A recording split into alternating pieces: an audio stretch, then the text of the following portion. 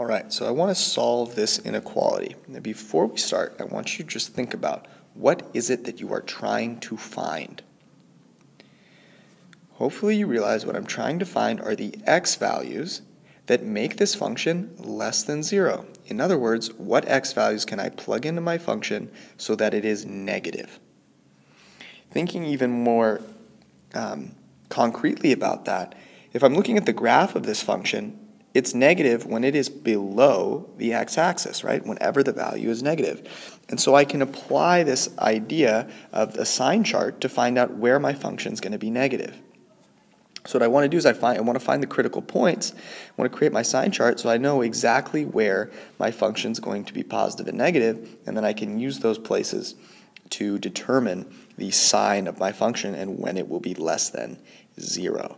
So let's go ahead and create our sign chart here we want to populate it with our critical points. So the first type of critical point, right, there are two, two really critical x values, two types of critical x values. x values that make the function undefined, right, when my denominator is equal to 0, and values that will make the numerator equal to 0, meaning they will make the whole function 0. So there are roots and where the function is undefined. So first are where the function is undefined, and this is just going to be when x is plus or minus 3. I'd have to square root both sides. And so the two places where my function is undefined are going to be at x equals plus or minus 3. Next, I want to discover where my roots are going to be. Where is my function hitting the x-axis? And where are the only places it can hit the x-axis, which is important.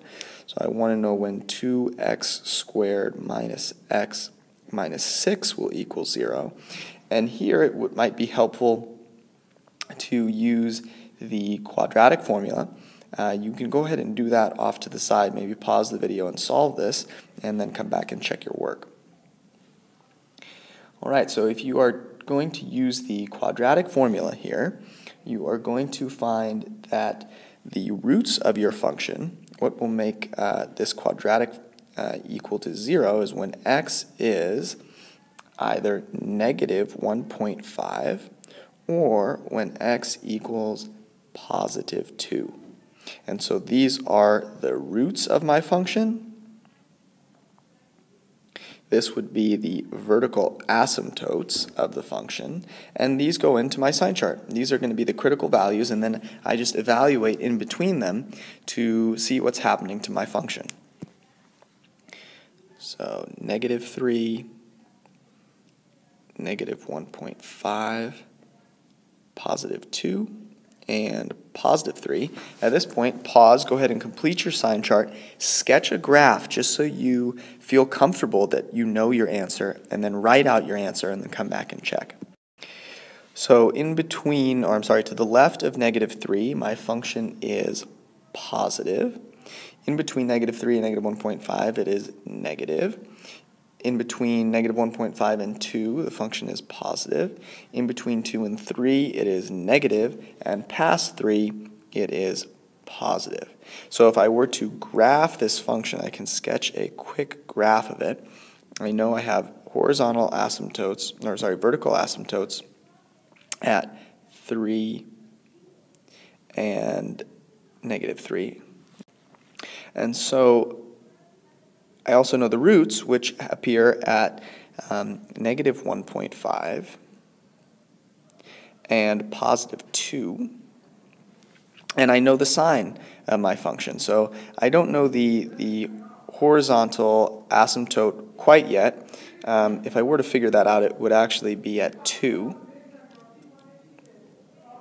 and you can figure that out on your own um, if you'd like. And so I, I, can actually sketch a graph of this function pretty, pretty easily. To the left of negative 3, it's positive. In between negative 3 and negative 1.5, it's going to be negative.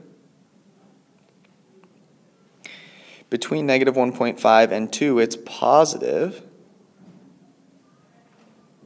in between negative 2 and negative 3, or I'm sorry, in between 2 and 3, it is negative. And past positive 3, it's positive.